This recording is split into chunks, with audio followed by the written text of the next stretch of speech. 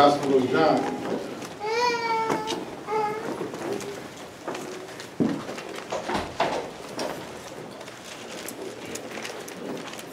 Chapter 7.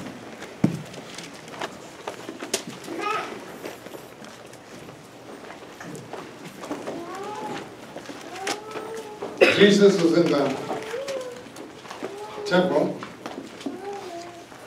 causing a great stir.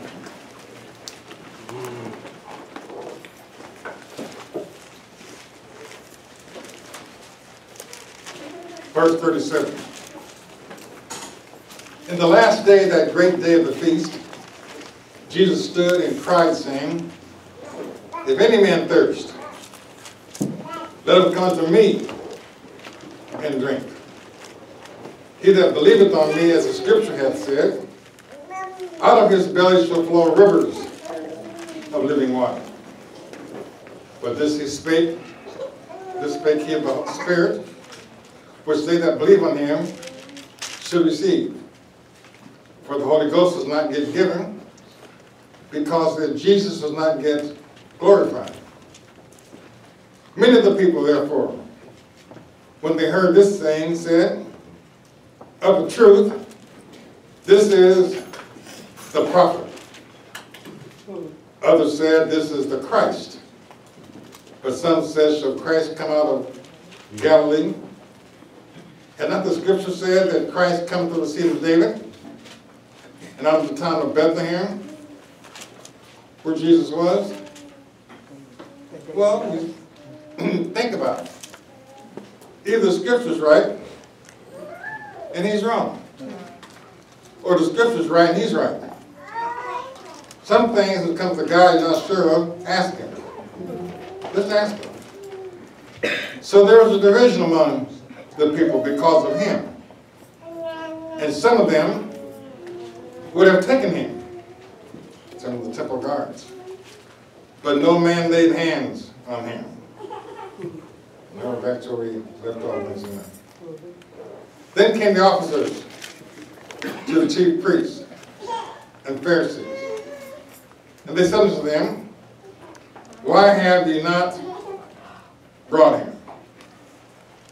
This was a blatant disobedience of a commandment.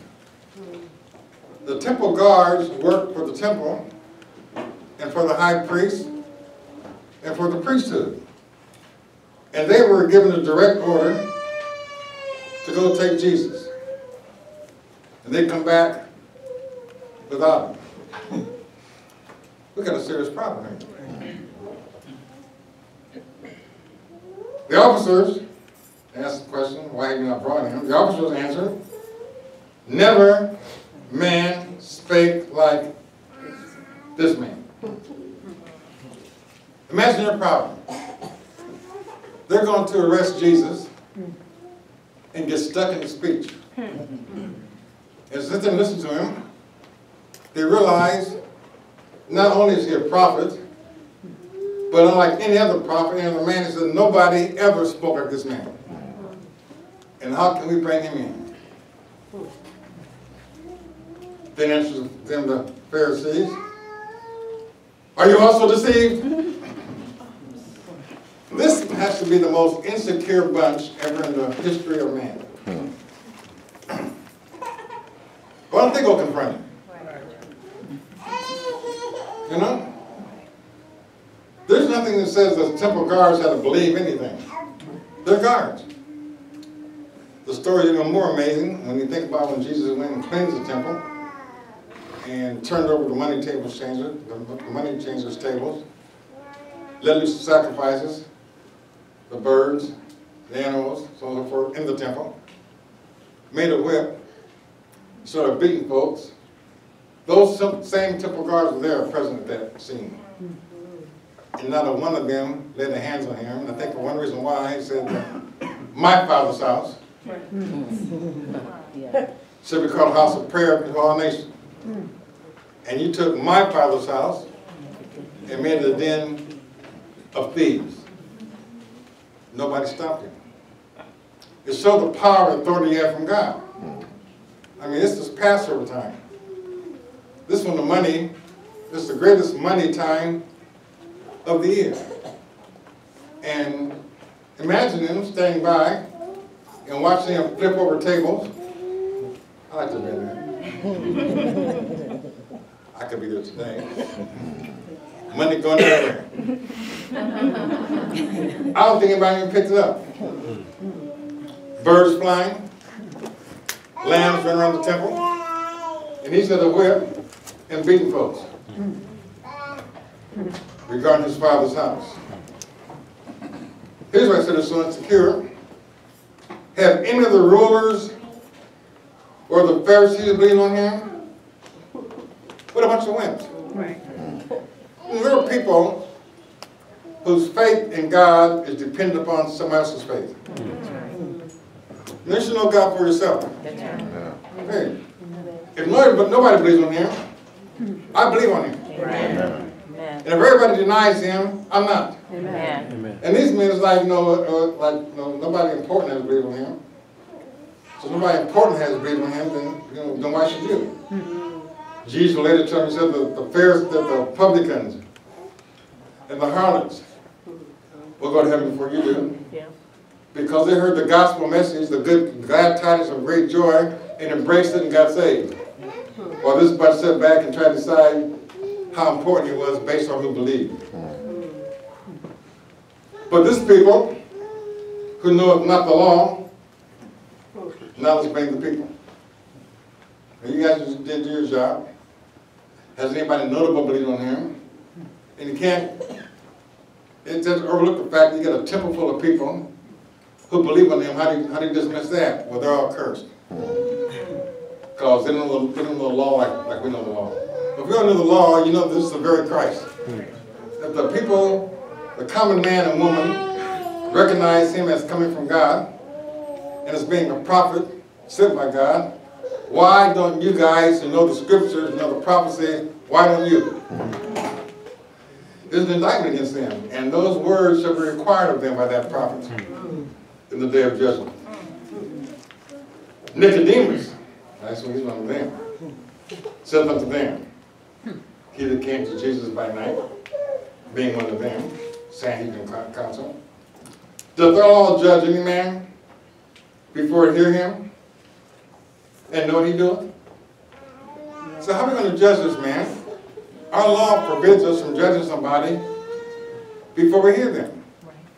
And how can you possibly judge him whom you have not heard? You sent temple guards to hear him and to arrest him so you can judge him and don't know what you're judging. Hmm. You got to respect because Nicodemus here. The answer said to him, Art thou also of Galilee? What a cheap remark. What's that got to do with it? All Galileans stick together? or oh, you, you, you must be a Galilee because you're on the inside. Hmm. I'm telling you, they're the most frustrated, insecure group in the history of man. Hmm. The she said to him, Art thou also Galilee? Search and look. For out of Galilee ariseth no prophet. And every man went unto his own house. Well, they're right. In these sister scriptures, it was nothing about out of Galilee arising a prophet. But did say out of Bethlehem, a prophet shall arise. And all they had to do, if they were any kind of men at all, they go up to Jesus and say, and they know right then.